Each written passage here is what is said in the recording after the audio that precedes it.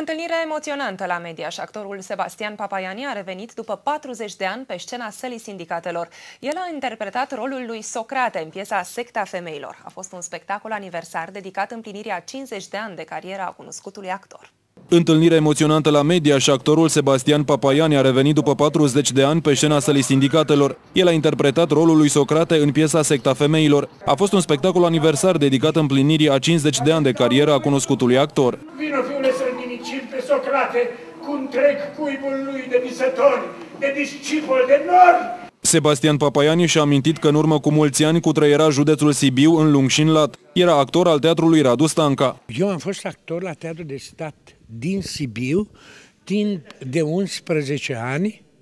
Am plecat de acolo în 1970 sau 71. Aici, când eram actor la Sibiu, aveam, cred, lunar două, trei spectacole. Eram obișnuit cu orașul. Acum toate s-au schimbat.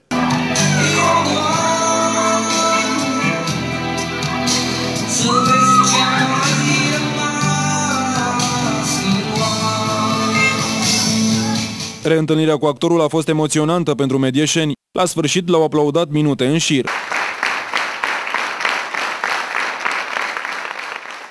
Sunt sănătos, sunt iubitor, sunt glumeț, îmi place să fac lumea să fie bucuroasă și am ajuns la vârsta asta să plâng mult mai ușor decât altă dată. Spectacolul Secta Femeilor îi mai are în rolurile principale, alături de maestrul Sebastian Papaiani, pe actorii Claudiu Bleonț și Ion Haiduc.